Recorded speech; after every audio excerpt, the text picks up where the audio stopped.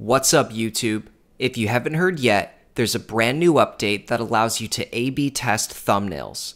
Essentially, you can now add three different thumbnails to a single video to see which design performs better. So today, we're going to teach you everything you need to know about how to test and compare YouTube thumbnails.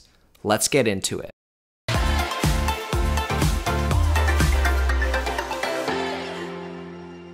To start off, we're going to show you exactly how to use the new test and compare feature. You're going to want to make sure that you already have three thumbnail designs ready to go.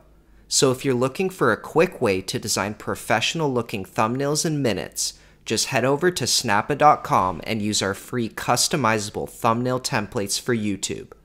Once you've created your three thumbnails, just head over to YouTube, click your profile icon in the top right corner, and select YouTube Studio. Now, a great part about this update is that you can test and compare thumbnails for new video uploads and existing videos that have already been uploaded. To test and compare thumbnails on an existing video, click Content in the menu on the left, then hover your mouse over the video that you want to test and click Details.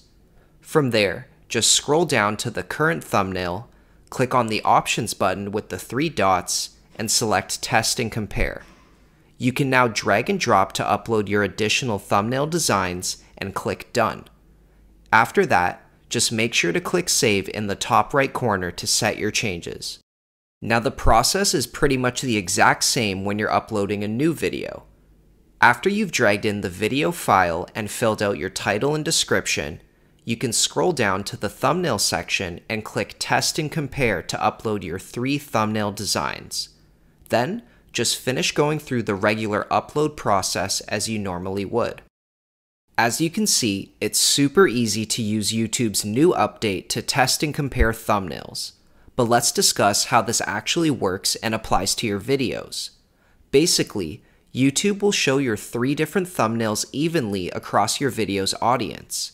Then after a few hours to a couple of weeks, YouTube will select a winning thumbnail that performs best based on watch time.